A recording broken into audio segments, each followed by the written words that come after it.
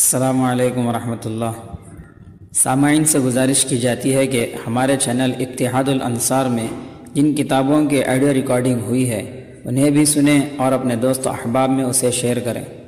आपकी आसानी के लिए उनके लिंक्स डिस्क्रिप्शन में दे दिए गए हैं और हमारे चैनल को सब्सक्राइब करना ना भूलें। जजाकल्ला खैर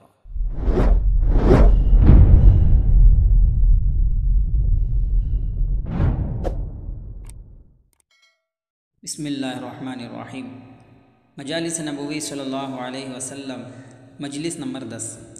मैं गवाही देता हूँ कि तुम जन्नती हो।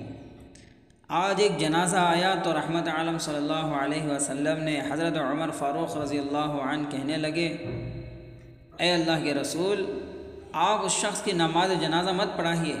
ये फासिक था। ये सुनकर आप सल्लल्लाहु अलैहि वसल्लम ने नमाज़ जनाजा के लिए सफ़ बस्ता सहाबा की तरफ़ मुतवजह होकर फरमाया है तुम में कोई जो इस शख्स के मुतालिक इसके किसी नेक अमल की गवाही दे।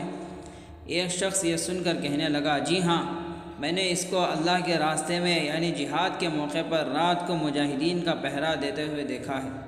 ये सुनकर आप सल्लल्लाहु अलैहि वसल्लम ने उसकी नमाज़ जनाजा पढ़ाई और उसके क़ब्र में अपने दस्त मुबारक से मिट्टी भी डाली। फिर मैत को मुखातब करते हुए फरमाया, तुम्हारे साथी जो तो तुमको दोजखी समझ रहे हैं। मैं गवाही देता हूँ कि तुम जन्नती हो।